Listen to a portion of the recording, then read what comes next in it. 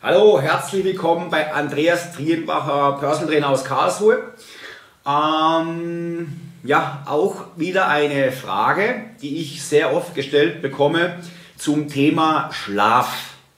Es gibt natürlich Menschen, die haben unterschiedliche Schlafbedürfnisse. Es gibt Menschen, die kommen mit sechs Stunden aus, mit sieben Stunden, mit acht Stunden.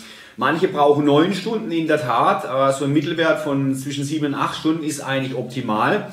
Ich habe persönlich festgestellt, bei den meisten meiner Kunden, wie auch bei mir selbst, ähm, umso intensiver ich trainiere, umso härter ich trainiere, umso mehr Regeneration in Form von gesundem, tiefen Schlaf benötige ich. Somit ist es absolut von Vorteil, wenn ihr erstens mal natürlich regelmäßige Bettzeiten habt, immer zu ähnlichen Bettzeiten ins Bett geht, zum Vorteil ist es natürlich, wenn ihr gesund und tief schläft. Das ist nicht immer der Fall. Hängt davon ab, was man so kurz davor alles treibt, bevor man ins Bett geht.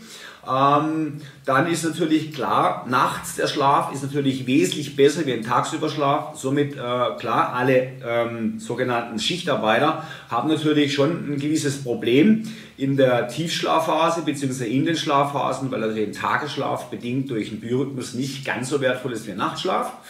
Ähm, Nochmal, Schlaf ist definitiv wichtig, natürlich auch für den Muskelaufbau, ganz klar. Ausgeruht, ausgeschlafen ist nämlich der Körper wesentlich leistungsfähiger, wie wenn er zu wenig Schlaf bekommt. Deswegen versucht sieben bis acht Stunden zu schlafen.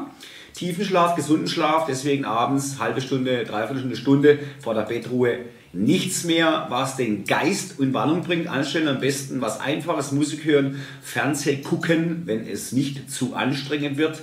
Ähm, dann hat man natürlich auch eine gute Einschlafphase und in der Regel auch eine gute Tiefschlafphase.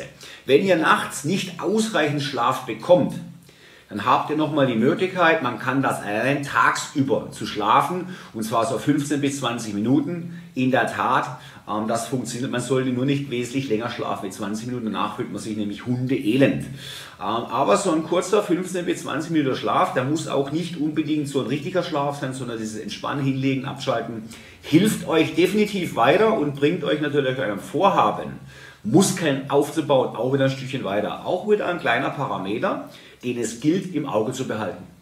Das war's. Andreas Riembacher, Personal aus Karlsruhe. Deine Fitness, dein gesunder Schlaf, meine Aufgabe.